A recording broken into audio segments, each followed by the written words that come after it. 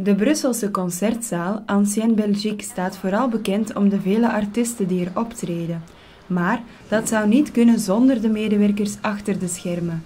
Poetsvrouw Josiane Rampelberg is een van hen. Ik ben Josiane Rampelberg. Ik werk hier bijna zeven jaar in de AB. Ik ben verantwoordelijk van, voor de mensen van de schoonmaakploeg. Soms als ik het morgens binnenkom in de loge, zie ik direct welk soort muziek er geweest is. En welk soort artiest natuurlijk. Want ik vind soms vuil onderdingen. En uh, in de douche soms overgeven. Sigarettenpeuken dat ze zo uitstampen op de vloer of op de tapijten. Blikjes langs alle kanten, een beetje rest van eten overal. En ja, soms is het wel uh, smerig. ik vind het wel tof als kan artiesten tegenkomen.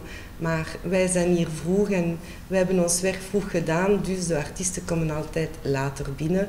Het, van, het gebeurt niet dikwijls. Ik houd graag van reggae, popcornmuziek, maar het zijn muzieken, bon, popcorn, dat is al zoveel niet meer gehoord. En ja, moderne platen hoor ik graag, maar ik heb geen specifieke artiesten. Meestal Franstalige, en die komen hier niet veel.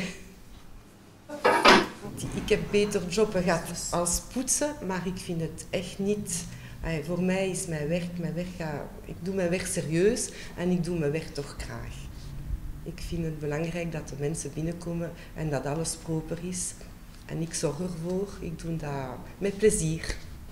Voilà, nu ga ik verder werken.